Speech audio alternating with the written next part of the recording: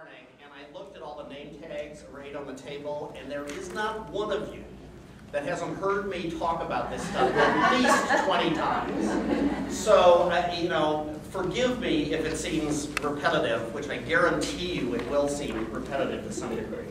Uh, but what I thought I'd do, um, taking off uh, from what uh, Kim said, is to talk a little bit about uh, my perspective on Arizona. Um, and I presume most of you have heard at least once my What's the Deal with Arizona talk. Uh, I know Nancy's heard it at least twice. Uh, I know if Judy were here, she's heard it at least three times. Pat, are you up to three? Okay, and it's on the internet. So I'm not going to do the whole thing, but I am going to use that as a takeoff point to talk about the public policy implications of my explanation to people from outside of Arizona, what's the deal with Arizona. And, and I know this is relatively easy because I look at all of you, and I know you've heard this before and you've thought about it yourselves, uh, because you are obviously bleeding heart policy wonks. Um, and so therefore a friendly audience for this message. Um, I, I have had less friendly audiences when I try to explain Arizona to people. And some of the things I explain to them that I think are perceived as problems in Arizona are exactly what they love most about Arizona. Uh, Arizona's kind of in-your-face uh, um, um, politics and perception outside of Arizona. So I started thinking about this for uh, the Morrison Institute State of Our State back in 2011, uh, with the centennial at that point ahead of us. Uh, we are now at a point where the centennial is essentially behind us, and boy, wasn't it really exciting. um, you know, I, I, don't even think it's the way I said that that got you elected. I think you all honestly feel like, that wasn't much of a celebration, and we didn't feel like we had much to celebrate. Um, but what, what I started reflecting on is why is Arizona, why does Arizona consistently get such negative publicity uh, around the United States, and, and what's the deal? And it really, it seemed to me, came down to sort of three issues. Um, one is um, uh, cartoonish politicians. Uh, we're really good at producing cartoonish politicians. Uh, there are several on the ballot in the upcoming election. I hope you can ferret out which ones they are and decide what you think about them. Um, but it, it, we do seem to have politicians who are really good at getting a national profile for various kinds of behavior. Now the truth is that everybody's got cartoonish politicians. But somehow our tradition of cartoonish politicians is so uh, vibrant that it gets revisited periodically. This, the second reason uh, that I think Arizona tends to get a lot of, of visibility nationally um, is something that we can't do much about, and that is the, the sort of challenges of our geography.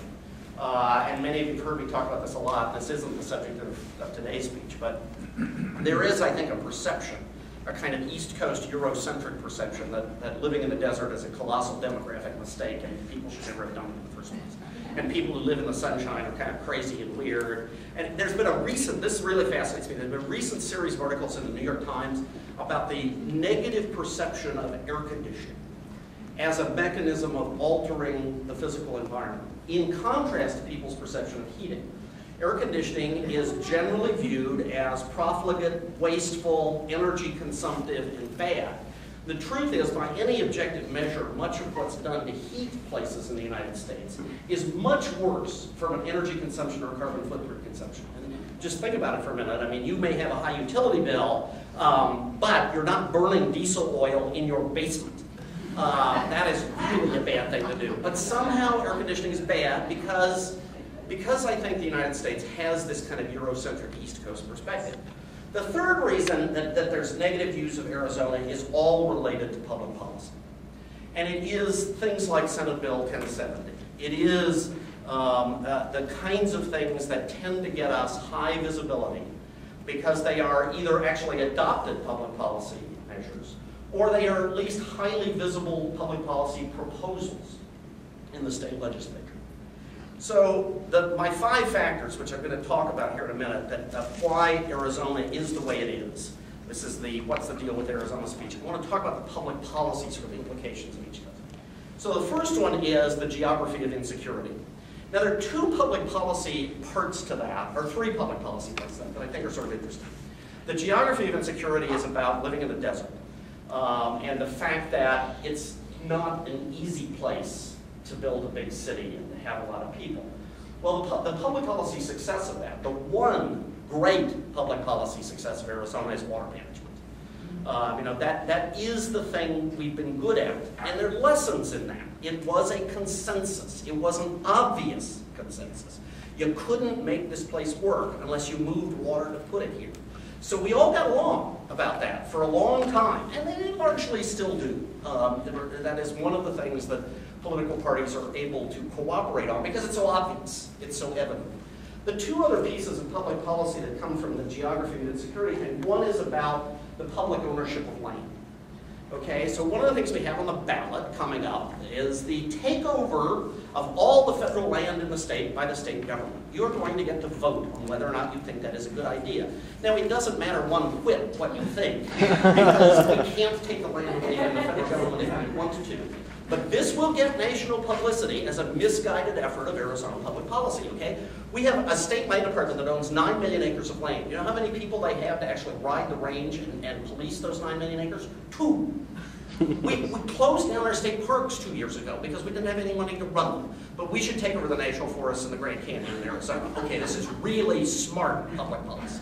But it's part of this kind of in-your-face um, relationship we have with the federal government. We're only here because the federal government made this possible by moving water, by building highways, by funding airports. And yet we distrust and dislike the federal government as a matter of sort of stated public policy in Arizona. The third piece of this, the uh, geography of insecurity, is our relationship with the border. And this has been the premier um, visible public policy of Arizona over the last couple of years because of Senate Bill 1070 and the, and the impact that has on us. And our frustration is that um, we don't really have, and we really can't have, particularly meaningful public policy to deal with our geographic position next to the border. But in that frustration, we lash out and adopt ill-considered and, and um, meaningless public policy to make a statement, again, about our relationship with the federal government and so on. Now, my sense is that, that um, the policy expressed by Senate Bill 1070 is beginning to that people are beginning to feel differently about that, and that we are perhaps getting back to a realization that this is a larger problem than just lashing out in some kind of xenophobic spasm, um, and, and that we need some more comprehensive solution, and that needing people to actually work and build stuff um, should result in some kind of guest worker sort of program. But that's a long, slow boat to change it, it, it hurts us in a public policy perception because we were at the front of that. And we're often at the front of public policy changes. That's one of the themes I want to come back to in a minute. The second of my factors of, of sort of why Arizona is the way it is, is the institutional immaturity factor. Um, we just don't have the long-term consistent institutions that other states have. And you all are an example of that. The philanthropic community here does not have the long, deep roots it has in Indianapolis you know, a much smaller city, um, in virtually any city in the United States because of our institutional immaturity, because we were the last big city to boom and grow in the United States. Because Arizona was the baby state, you know, sort of insulting moniker Grand Canyon State a macho kind of image. Um, we don't have the, the, the, the philanthropic and the private community to create institutions that moderate and advance public policy. And it isn't just philanthropy, it's equally true of, of corporate and business uh, communities. You know, We became a center of business just as a lot of commerce became global, just as banks became nation, just as manufacturing went offshore. And we've been kind of the last stop before things go offshore because it was cheap to live here. That's our public policy. Let's make it cheap to live and we will boom. There it is. That is the statement of Arizona's public policy worldview. Make it cheap to live, live here and we will boom. Um, so uh, the, the, the, the, globalization also results in, in, institutions. So Judy, you can just sit out there if you want, because you've heard this like three or four times. I, am trying to mix it up a little bit change it slightly. Um, so I, you know, I think that um, the, the thinness of the institutions is part of what leads to the overriding theme I want you to get at the end of this, which is the hallmark of public policy in Arizona, this is one of the words I used, is inconsistency. We're not consistent about our public policy, and that's the worst thing you can do. It's worse to be inconsistent than it is to just not have a policy. Because just as you do something and you start everybody headed in one direction, if you change your mind, you disrupt everything and you set things back. So I want to come back to inconsistency because I think all these things. The third one of my factors is the unstable population factor. The people come and go. You know, it used to be for every five who move here, three leave. Now it's been for every five who move here, six leave. We're back to like four. You know, I don't know where it'll rebalance itself. But because we boom so late, and because we churn population so fast, we have a lot of people here who don't know anything about Arizona. And a lot of them are in the legislature. I mean, this is true. People move here because they figure this is the Wild West, and I can get easily elected to office two or three years after I come. Now, that's not, not necessarily a bad thing. The absence of, of a sort of old boy network can be, can be energizing, can be revitalizing for a community. But if you have a bunch of people making decisions about how to run the state who don't know anything about the state, it's not a good thing. You need some kind of perspective and some kind of sense of that. Um, because we're this kind of desert encampment of people coming and moving, and on top of that, we don't have any sort of dominant cultural roots. You know, I think about two of our neighboring states in this regard. New Mexico. New Mexico is a state, a state of deep and meaningful Hispanic heritage, and they celebrate it and they care about it, and it is a backdrop to everything they do and think about. That creates an expectation about what matters, about how you should behave, about how you should celebrate who you are. Utah is a state of deep and meaningful Mormon roots, and it creates a backdrop and an expectation, even though it's not a majority of the population by any means. We're Catholics in Utah, and there are Mormons. But it's the origin of that state. And it, and it creates a kind of cultural expectation and, and a fair amount of public policy expectation. Um, the, the Utah is much more, as a state, at the state level, much more interested in the general welfare of its citizenry than Arizona is. And much of that comes out of that tradition, not what happens here. You know, our tradition is a state that was founded by a bunch of land swindlers, you know, Darrell Duppa, Jack Swett, those kind of guys, and a place that boomed because we transplanted a lot of people from the Midwest.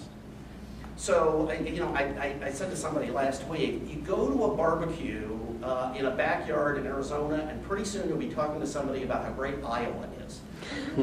because they came from there, and they left because they didn't find a job, because they didn't want to be a farmer, because they didn't like snow. But they're not talking about how great Arizona is. They're talking about how great Iowa is. It's happening last night that somebody was telling me about how great Iowa is. Um, the fourth factor is uh, conservative populism.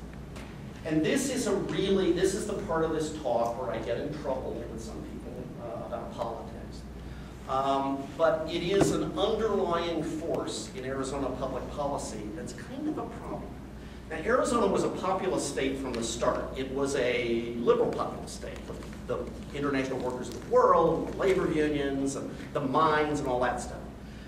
But post-World War II, that liberal populism transformed into a conservative populism. And a lot of it is Barry Goldwater, um, who, who sort of realized that there was a, an energy to tap. Um, but a lot of it, I think, also was the in-migration of people moving here in the expectation that they could be left alone.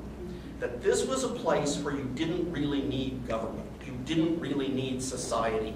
You could just be a cowboy and they wanted to leave wherever it was they were leaving so they could come here and be left alone to live their lives with a gun, a dog, and a chain link fence. Um, and of course, it's mythology. Um, it isn't the way we live here. Mean, we couldn't live here unless we had government that created for us these big plumbing systems that move water.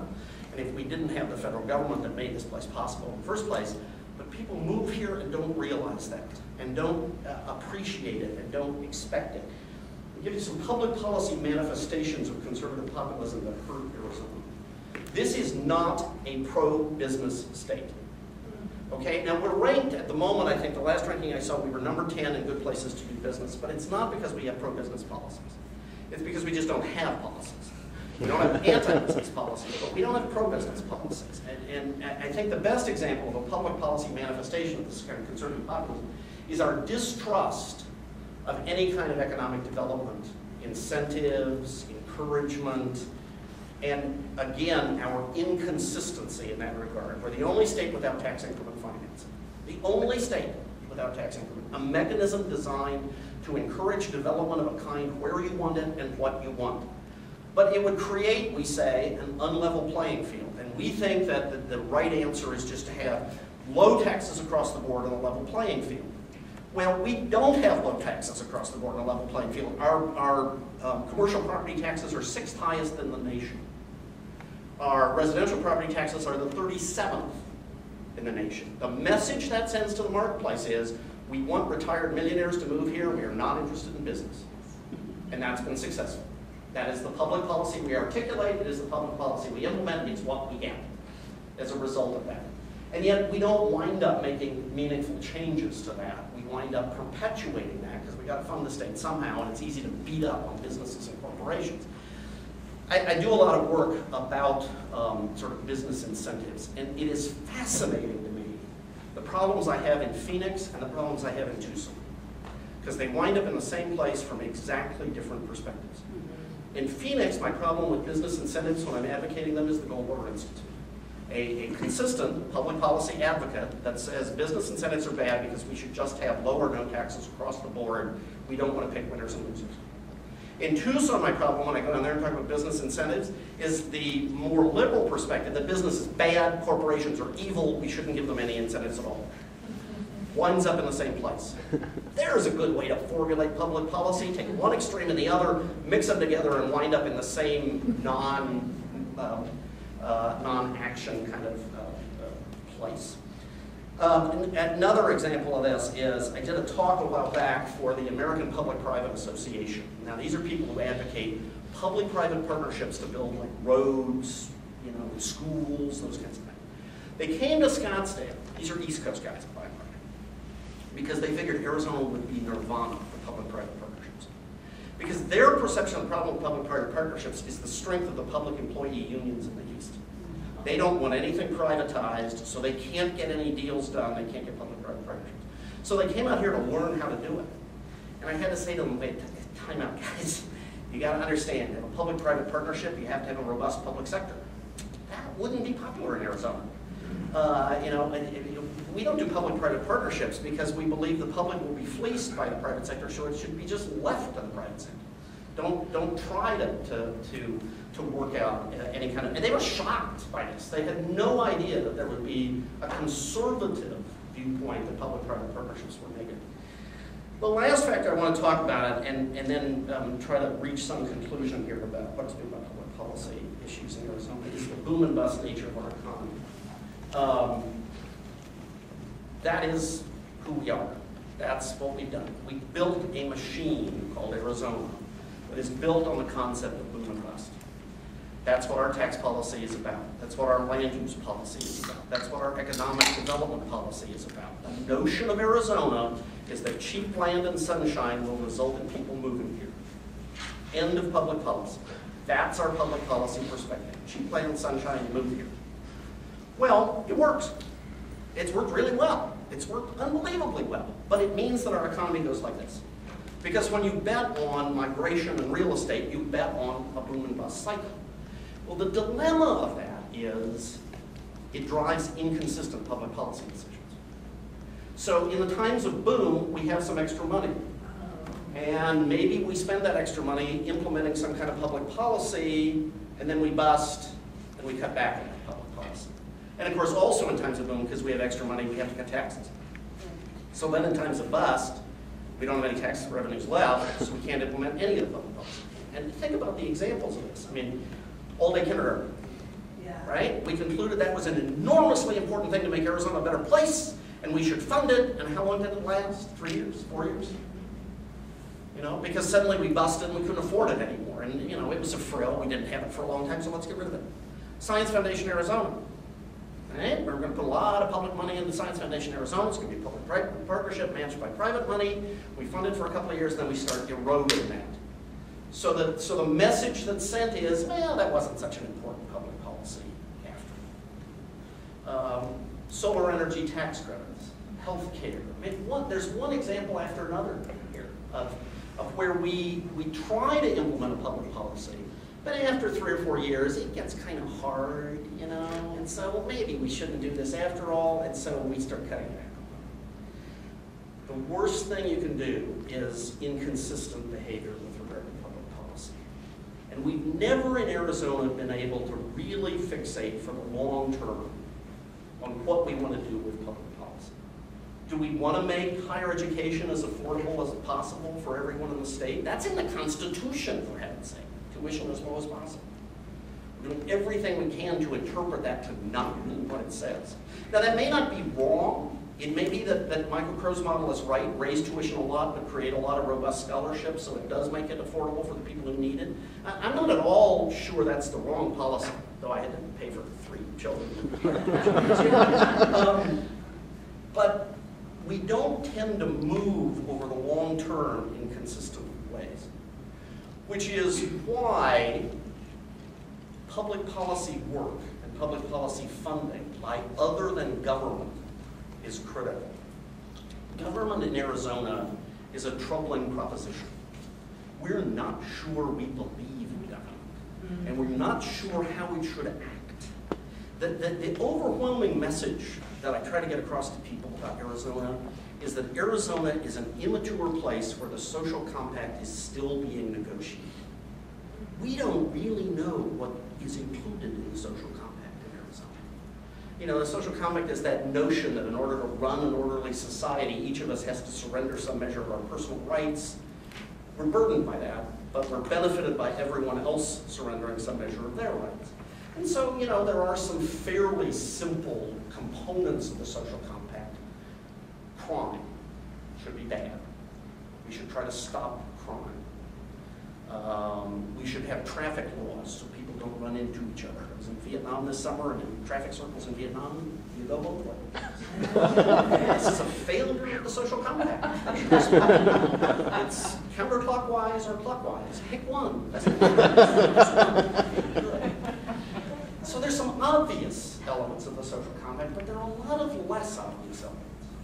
Uh, I used to think that free, robust, high quality kindergarten through 12th grade education was an obvious element of the social compact, funded by the public. Not so sure anymore, but we think that. Uh, I think most people would say yes, but they're not quite as enthused as they maybe used to be. Higher education, the Morrill Act told us that higher education, funded by the states, was a component of the social compact. That's clearly changing. State parks used to be, you know, parks and quality of life things. Is that part of the social compact? Well, I don't know. You know, public funding for the arts, apparently not very much part of the social compact anymore. Used to be once in a, you know, past nirvana-like time that is long gone. But, um, I mean, there, there are all these elements that are sort of on the table in Arizona. Now, what's different about Arizona is we never had entirely figured this out. There are other states that thought they had, places like Wisconsin, that are now renegotiating what they thought was in the social compact. We didn't quite get it, get it inked. So I, I think the important thing out of all that is to think about that kind of a big picture of what public policy is about. What can you do to affect it and make it better?